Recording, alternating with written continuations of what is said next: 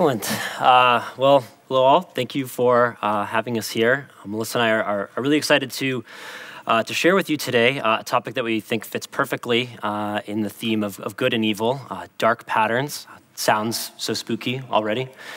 Um, but we want to expand a little bit of this definition more than just dark visual design patterns like we might be familiar with, but also expand this to the dark product patterns, the, the, the the patterns that the products themselves implement that can ultimately be used to potentially uh, harm users. But uh, before, before we get into that, uh, just tell you a little bit about us.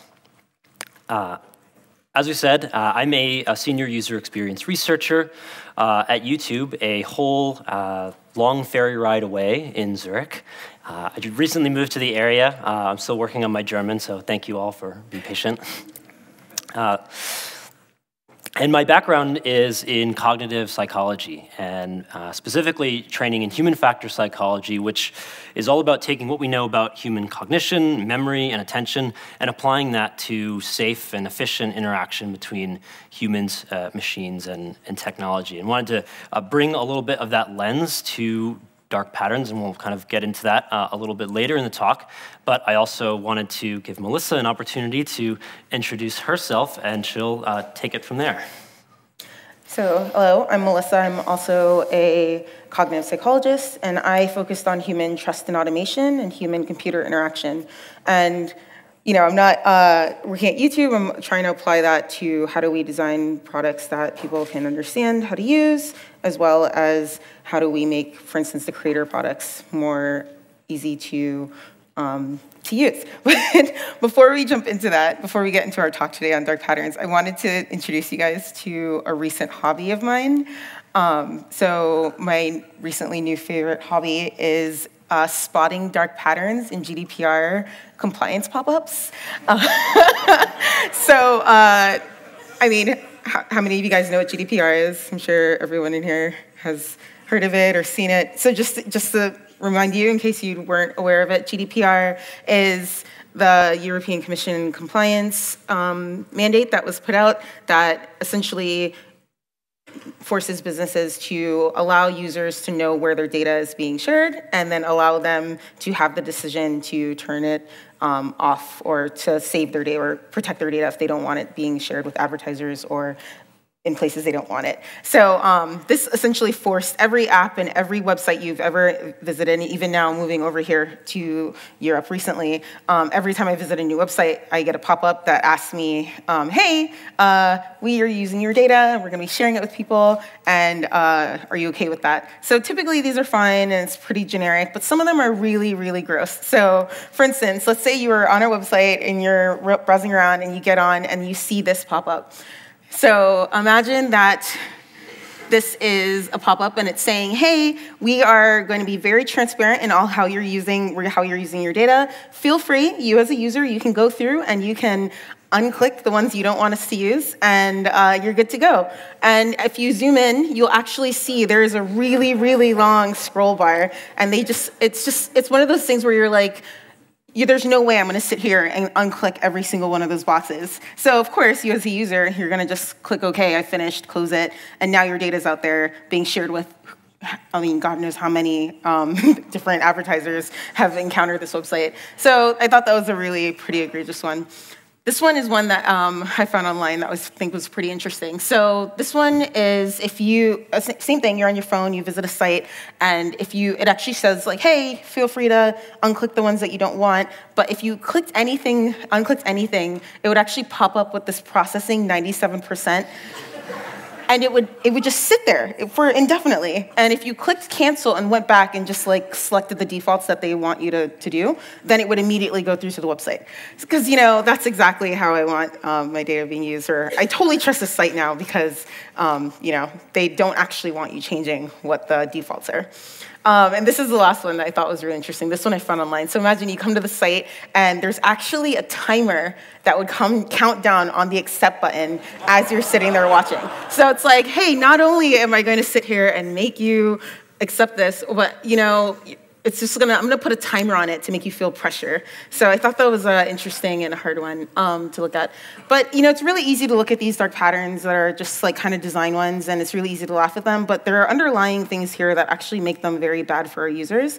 So before we jump into what like some of the psychology principles of that, I just want to like kind of define what dark patterns are. So what are they? Why are they bad? So, according to Harry Brignull, who is the founder of darkpatterns.org, and he actually compiles a lot of these things and tries to give people ways to feel empowered to stop them, he just simply defined dark patterns as the deceptive user interface. Um, I didn't think that was actually detailed, detailed, enough. There's a lot of ways that you could have a user interface that was quote unquote deceptive. But I think specifically for dark patterns, this is something I came up with, and I just said it's a design that intentionally takes advantage of human behaviors to achieve unintended actions from the user. So that's by me.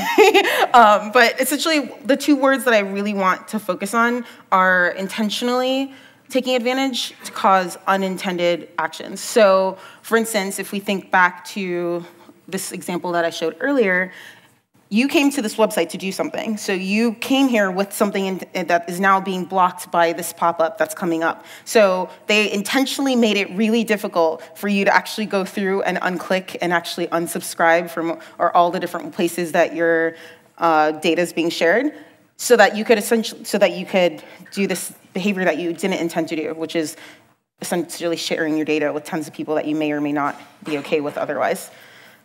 So now Christian's going to take it from how that evolves past just design into how products can be designed darkly. Right. Uh, thanks, Melissa. So as, as most of us suggesting, um, Dark patterns uh, are an intentional usage of design that leads to an unintended consequence uh, for the user. And, and, I would argue that, that this goes beyond just what's uh, the user's interacting with on screen, the, the, pixels that they see, but the actual mechanics uh, of the product itself. And so I kind of want to expand this to, to dark product patterns, which, uh, similar to dark uh, design patterns, they take advantage of the fundamental uh, mechanics of how a product uh, delivers its value or lack thereof to the user uh, in order to uh, in either uh, to intentionally, uh, potentially lead to these unintended harmful consequences for, for our users. And so you might be thinking like, that sounds terrible. What, what kind of monstrous company or product or service would do, uh, would do such a thing? Uh, and so I turn your attention uh, to this uh, very uh, cute and benign looking game. Uh, maybe this looks familiar to some of you. Farmville, has anyone heard of this game? Is it about okay, about half. Great, great, great. Okay, so Farmville was a very popular game around 2015, and sort of described itself to the users as a, a game about building a very successful farm. Uh, but for those of you that have played it or have spent any time reading about it, it's actually much, much less about agriculture and much more about very aggressive re-engagement tactics so that users continue to play. Uh, and Farmville actually takes uh, advantage of a whole variety of different underlying uh, behaviors and psychological principles to, uh, to keep users playing the game. So they'll use uh, notifications to bring you in, using social proofing to see what your friends are playing and motivating them to also bring you in, uh, really aggressive re engagement tactics. And then this is all coupled with an economy of microtransactions so that that desire to get to the next level in the game that they've built up now can be easily bought for a few, a few dollars.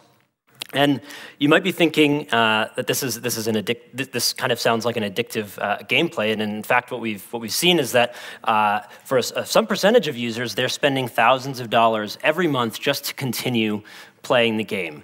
And uh, actually, if you look to the, the product's own forums, you don't have to look very far to, to see, because players of the games themselves, this is just farmville.com, uh, player, players asking other players, Am I addicted to Farmville?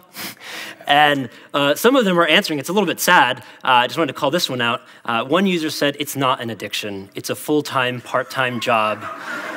Slanty, sad face.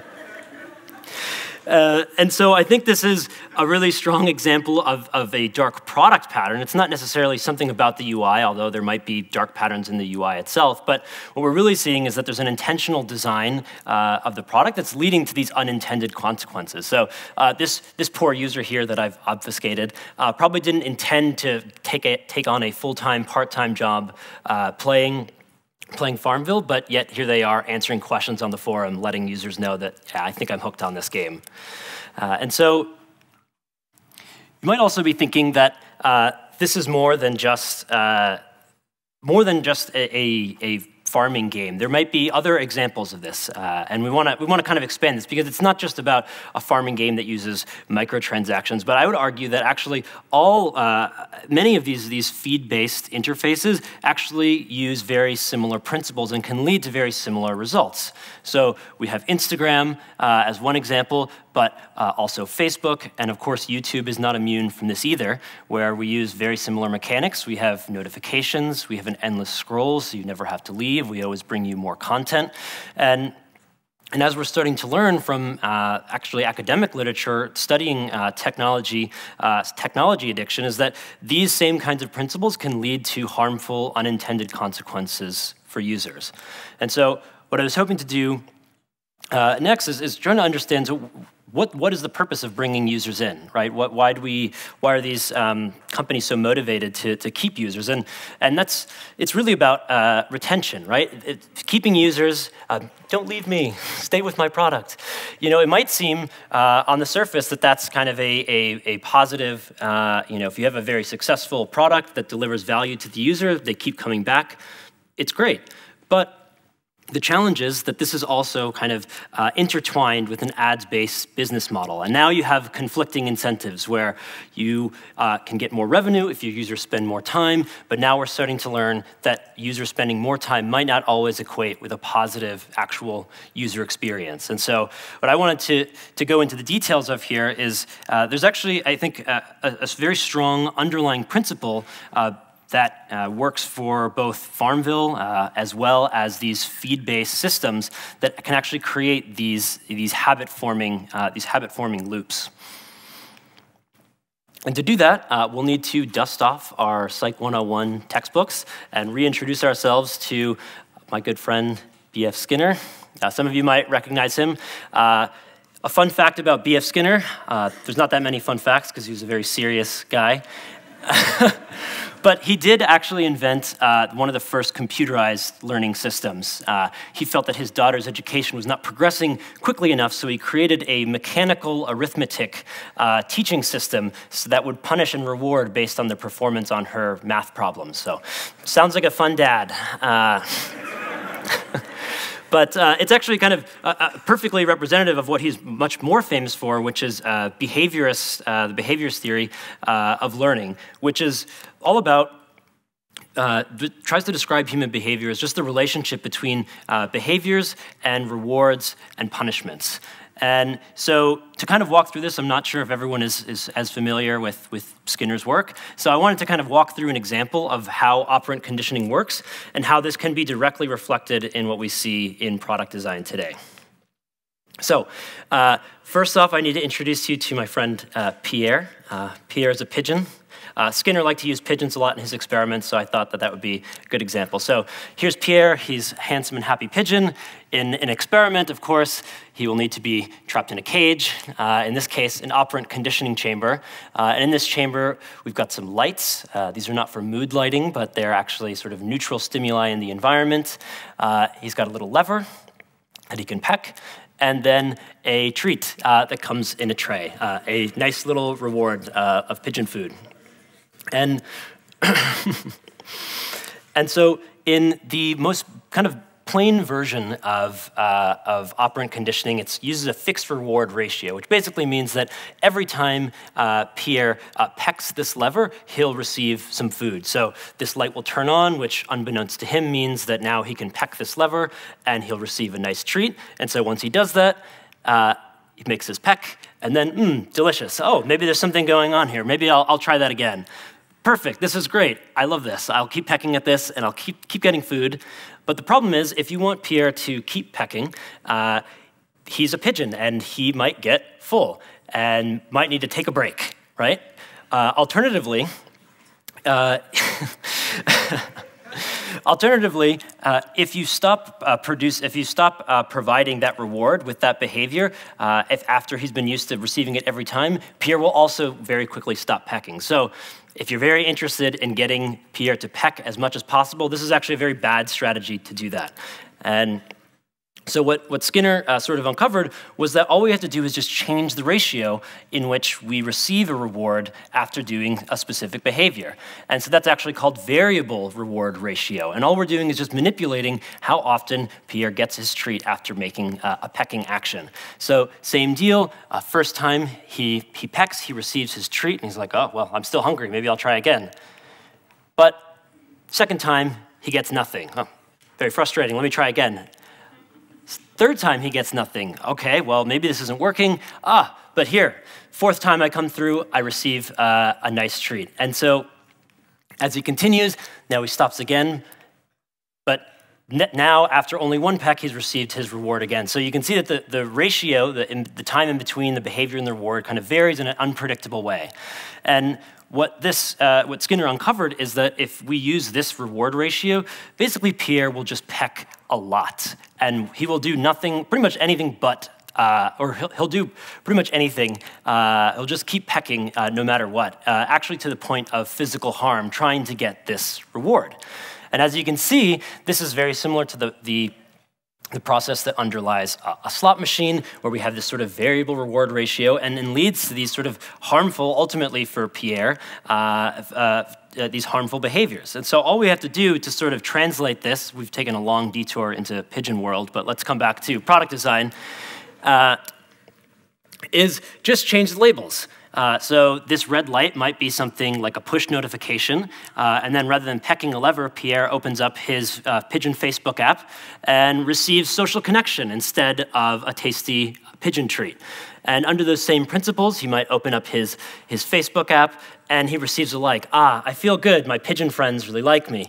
Uh, and he pecks again, another like, so fantastic, I'll try again. Oh, this time, no like. Instead, I get an ad.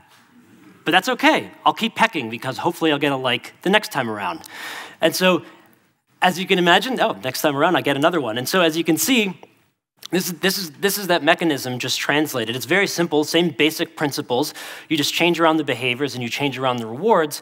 Uh, and you can apply these same principles. And if you're looking at me thinking like, well, that is one very crazy theory as to how this all works, uh, I, would, I would argue that, uh, in fact, I'm not that crazy because in 2015, there was actually a book that was very popular in Silicon Valley that was essentially advocating using this exact uh, variable reward ratio. So this is part. Uh, so this book, uh, Hooked, all about building habit-forming products, puts uh, variable reward as a central thesis to to the the model uh, for creating these addictive habit-forming products.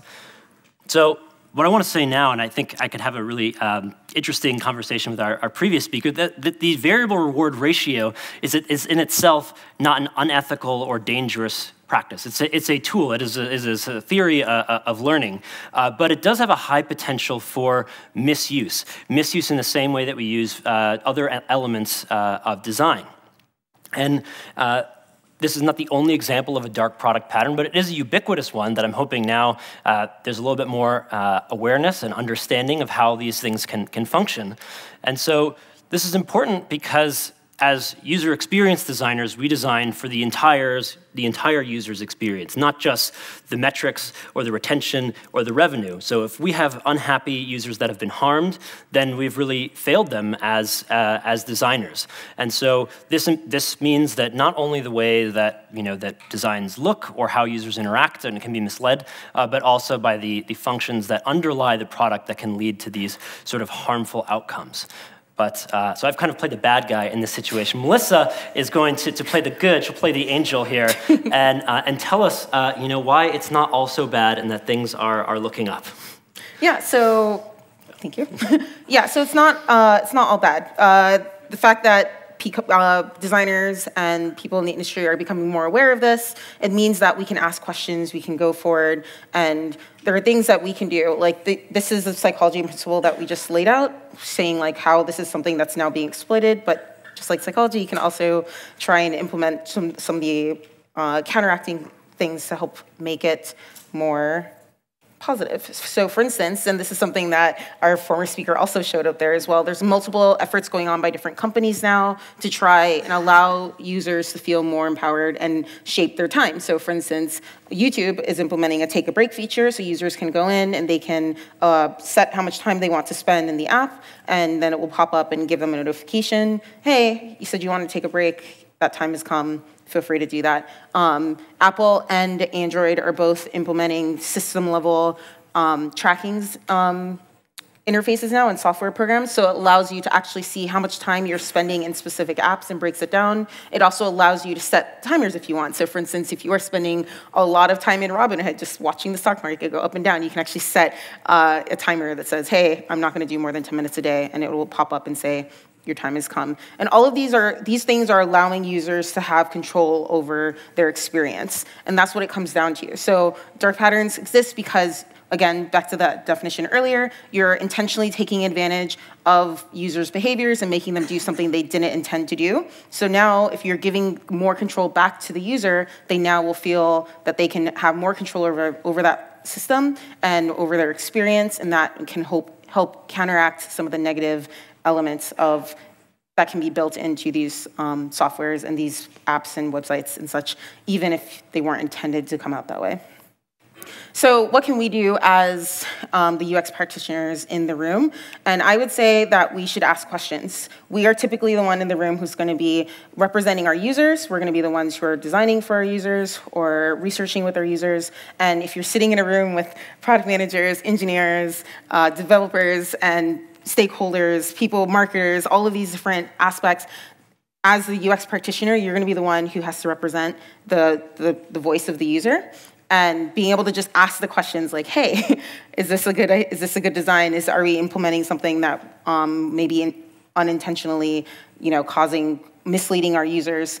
You need to be the one asking that. So some of the questions are things like, are we trying to, or is this misleading users? Again, it might not be the intent. You're not going to walk up in your, into your meeting one day. and You're like, I'm going to mislead some people today. That's not the, that's not the goal. Hopefully, I mean, maybe, but no. The goal is that you want to, you know, hit some metric or you know, design some products, but you want to make sure that you're not misleading the users unintentionally. Um, is this ultimately harming our users? And are we building good or bad habits? And then more importantly than anything, are we allowing our users to have control over their experience? Because that will allow them to then choose and craft the experience that they want. If someone wants to spend eight hours on YouTube, good for them. I mean, they will be an outlier in, in our stats statistics, and you know, good for us, or I mean, or good for whoever. But um, if someone doesn't, and they're spending a lot of time, and they're waking up at the end of it, and they're like, "What did I just do with eight hours?" That's not necessarily a good thing. But if someone wants to, then it's just kind of giving them the experience that they, allows them to have feel like they have control over the, the given experience. So we're here to just let the, there's no answers, and there is no easy answer for this. We would love to hear um, your questions and discuss about this. This is on, an ongoing topic, and you know, us coming from a psychology background, it's something that we think is ever evolving, and it will be interesting to see how technology evolves as this becomes more well known. But feel free to discuss with us. We're both on Twitter, and we'll be here around for the rest of the conference. So thanks. Thank you.